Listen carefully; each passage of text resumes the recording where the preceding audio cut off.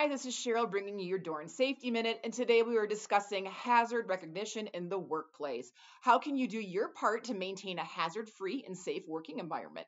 Here are a few tips. Number one, collect existing information about your specific work area. Are you familiar with the equipment, the machinery, know where the operating manuals are at? Uh, can you check previous records of injuries or illnesses that may have happened in your workplace? What was corrected to fix or prevent these future problems? Number two, inspect your workplace for hazards. Just conducting regular inspections of all operations, equipment, work areas is everything in proper working order and up to code.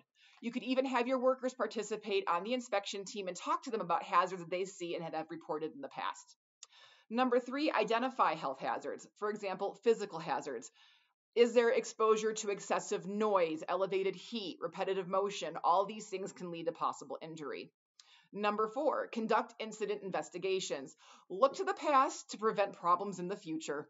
What you want to do here is to make sure that things were thoroughly investigated. There's reports. Uh, you can identify hazards that are likely to cause future harm and find ways to prevent things from happening again.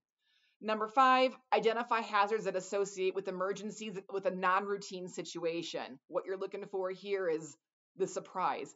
Fires, explosions, hazardous material spills, tornadoes, structural damage, alien invasion, etc. What is your action plan or protocol when something unexpected occurs? So, at the end of the day, being well informed on your company's safety measures, or at least knowing how to find this information, is the best way to keep yourself and those around you safe. So, being proactive is essential to identifying and preventing hazards where you are.